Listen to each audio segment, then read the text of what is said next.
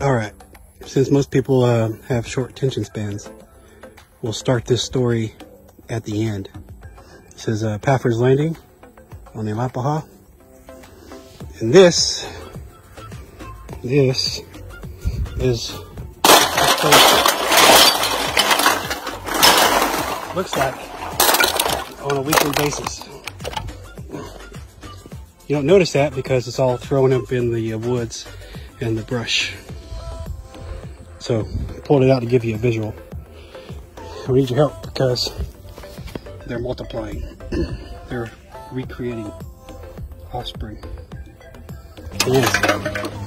But uh, aside from being a visual, I mean the stench is so bad of sour, nasty beer. Uh, oh yeah, people say they, they, we need to educate people. So look, this is a trash can. Is what you do with it. Oh, look at that. Let's see if it works again with Bud Light. Oh, look at that. One more time. Oh my goodness, it's a miracle. Holy Jesus.